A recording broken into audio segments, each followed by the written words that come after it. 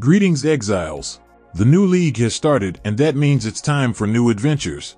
Let's see what Chris has in store for us this time. The Dweller with Corrupted Blood. Just what I need. Now this is interesting. My favorite belt. But unfortunately I have to sell it because I want to buy a more important item.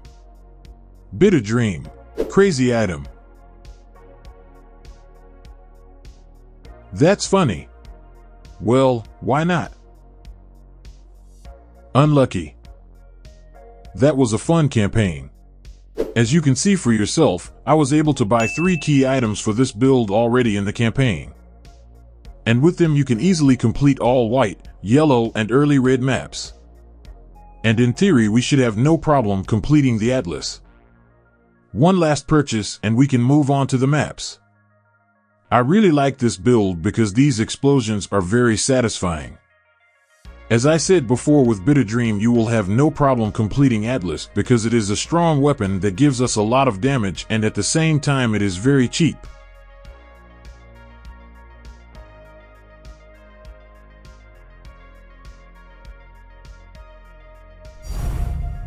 First Tink.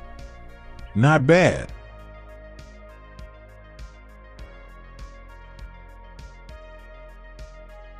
Pretty good jewel.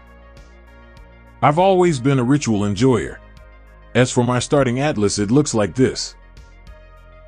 I initially wanted to use Unwavering Vision, but then dropped that idea because I wanted to find out how often scarabs would drop. First of all, I took Nico and packed with energy because it's extra damage and speed at the beginning of the league when our character is weak. Next, it's a lot of nodes for map sustain and some nodes for scarabs.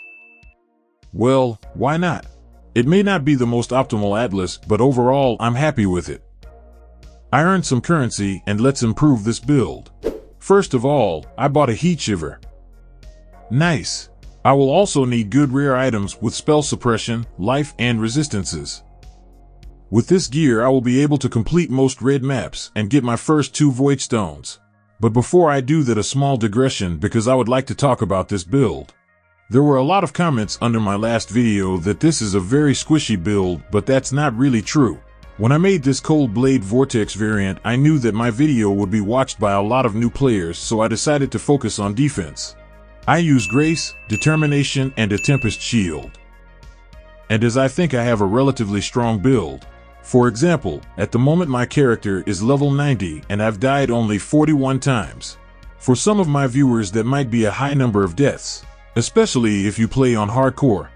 But thank goodness it's softcore, and that doesn't sound like a lot to me. I specifically showed you the number of deaths that would make you realize that even though we have no uber defense you will die pretty rarely.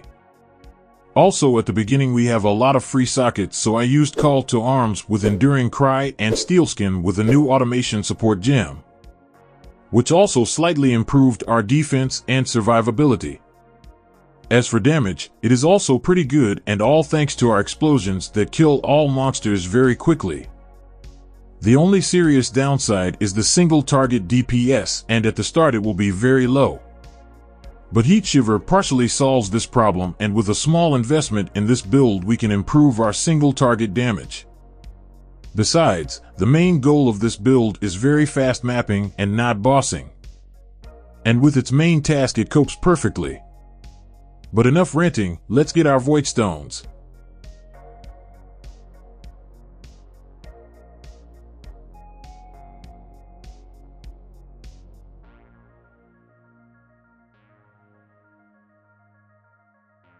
The first void stone is mine.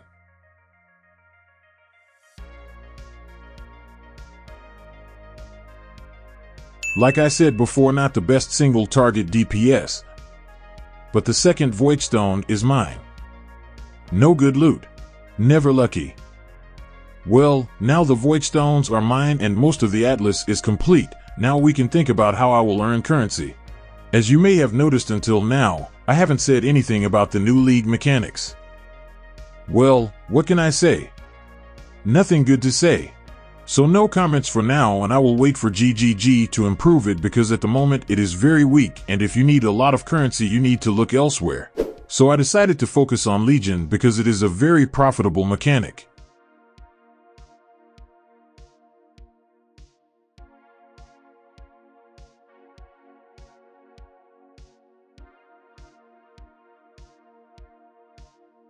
Also red altars and some scarabs.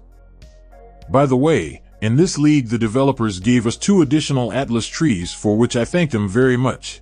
Very useful option. I also have a secret Atlas tree with ritual because with the new scarabs this mechanic could be very good. Well I hope so, but that's a topic for a separate video. But before I move on to earning currency, let's invest a little in this character to kill Legion much faster and more efficiently. First of all I need 6 links. Sacrificial garb is the best armor for us. I bought divination cards and got what I needed.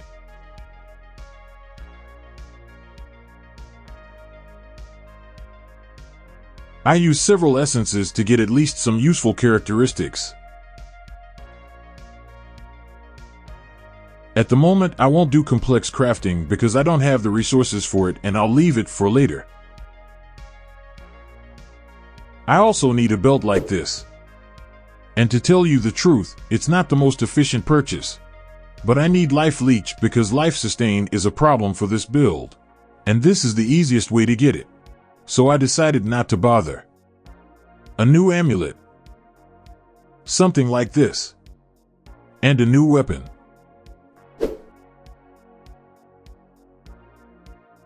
Nice.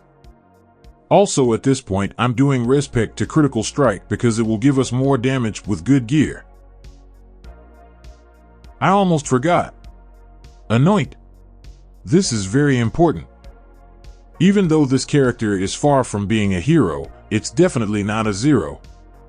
And now I can focus on Legion farming to earn a lot of divine orbs and buy new cool items.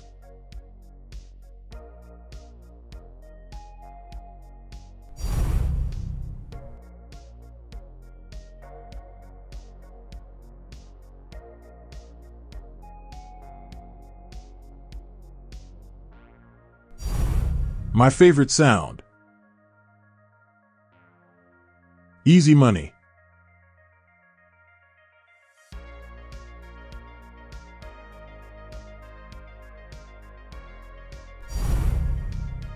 And what do we have here? This scarab is worth three divine orbs. No way. Let's see what this nameless scam is.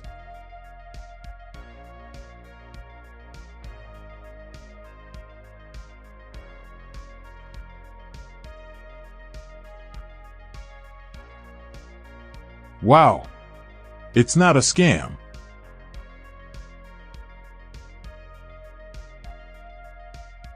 This is how the first days of the new league went for me, but there is still a lot of work to do and this is just the beginning of my journey.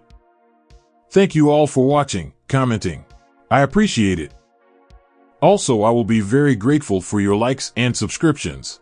Bye everyone and see you in new videos.